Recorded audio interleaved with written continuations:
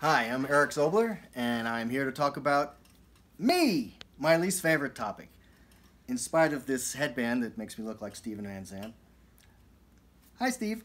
Anyway, I'm here to talk about the ride we're doing, but first me, before we get into that. Uh, I'm a recording engineer. I live in Los Angeles. I moved here from San Francisco, which coincidentally is where the ride starts from. It's going from San Francisco to LA.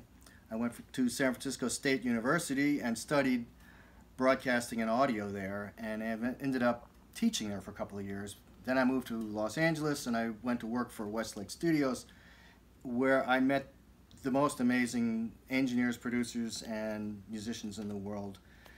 Quincy Jones, I worked with uh, Whitney Houston there. Uh, I worked with Dave Rideau as an engineer there, who's one of the other writers. And um, probably most importantly for me, I, I ended up meeting George Duke at that studio and became his engineer for the next 34 years until he passed away. And enough about me, that's what I do, engineer, producer, blah, blah, blah. And um, let's talk about the ride a little bit. It's a great cause. It celebrates people overcoming hardships. And it's based around what happened to a student at Blackbird Academy David Francisco, who was hit by a car and had his spine broken in multiple places.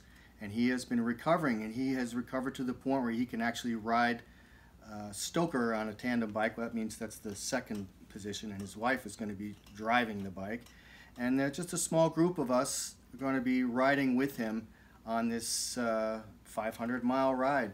It's a butt kicker, especially for me. I'm basically a newbie to these long distance rides. I've occasionally ridden recreational over the years, but never done a 500 mile ride and I'm working very hard to train for it, especially some of these hills. Thank goodness we have hills around where we live. We're training. So enough about me. I'm going to go back to work.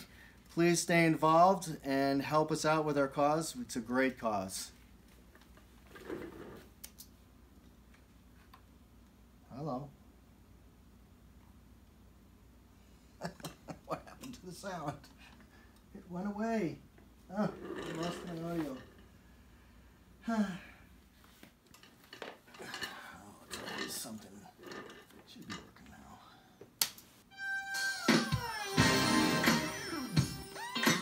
now.